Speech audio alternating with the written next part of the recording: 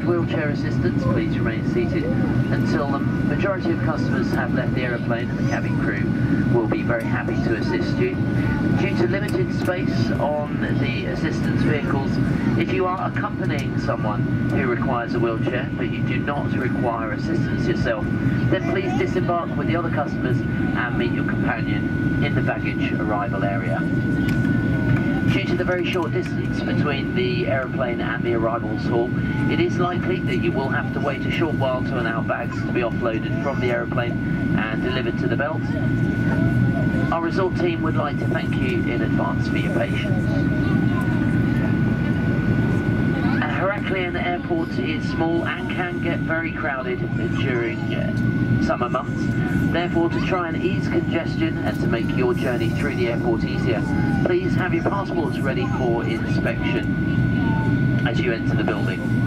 You will find toilet facilities before passport control and also in the baggage reclaim area. Trolleys are available as well and they're free of charge or indeed you're staying at our Sensatori Resort Crete. Once you've collected your luggage, it is best and quicker if you exit the baggage collection area at luggage belt number 1 and 2 and make your way outside to the TUI desks 17, 18 and 19 where the TUI team will be waiting for you outside the building.